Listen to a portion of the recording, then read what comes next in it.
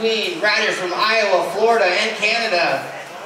Top three riders will be awarded here today. Coming in third place, making the trip from north the border. Give it up for Cole Watts. Second place and runner-up, representing Surf Team Boca from South Florida. Make some noise for Nate Newman. That means taking home top spot, the golden ticket, 1,000 points towards his national campaign. Junior flowboard winner, Jordan Walter from Ankeny, Iowa. Men's divisions on deck.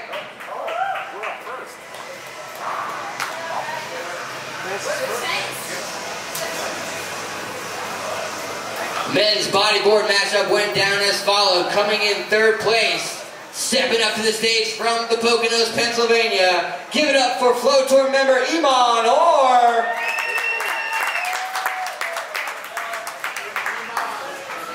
All right, another tight battle in a highly contested matchup. Going back at it once again for the top spot. Coming in second place today at Provo Beach. Representing Custom X Bodyboards, give it up for Laurel Valentin from South Florida. And that means winning your men's 18 and over bodyboard division here at Provo Prime Stop number four. Give it up for the hype man, Corey Wood.